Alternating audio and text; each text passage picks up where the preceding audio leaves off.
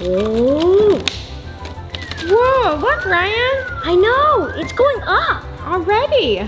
Welcome to Ryan's World.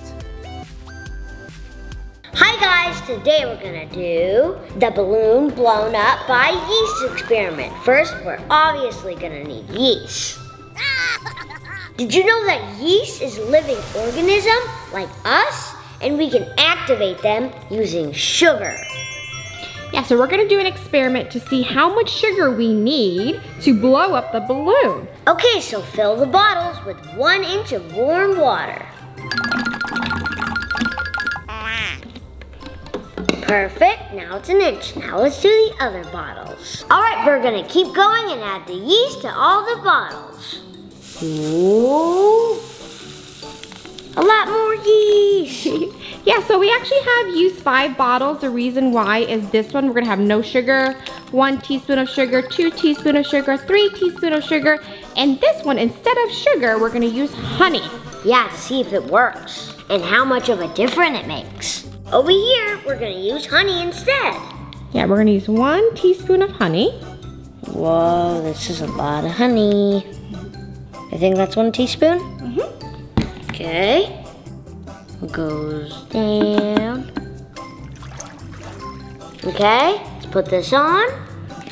There you go. Okay. Yeah, so Baker also put yeast into the bread and the bread will rise just like how the yeast will also rise up this balloon, okay? Ooh, okay. Ooh. Ooh. Whoa, look Ryan, I know, it's going up. already. But what about the third, the one with three? Yeah, maybe we didn't shake it hard enough? Uh, it's starting to, maybe it just takes more time. I Yeah. guess we'll find out. All right, we will be back. Yeah. One hour later. Hi guys, now we're back. All of the ones with sugar and honey worked. Yeah, so what do you, worked a little bit. yeah, so what did you notice, Ryan? So the one without any sugar, did it work? No. No. The one with one teaspoon of sugar worked a little bit. Yeah.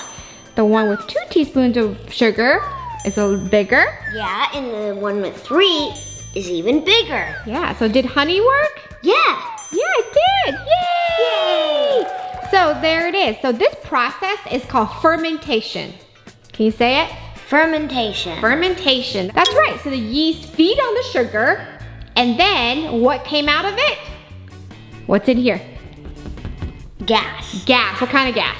What? Carbon. Oh, carbon dioxide. Carbon dioxide gas, that's right. Yeah, it also also releases an alcohol called ethanol, but ethanol stays down here and the Uh. gas goes up into the balloon.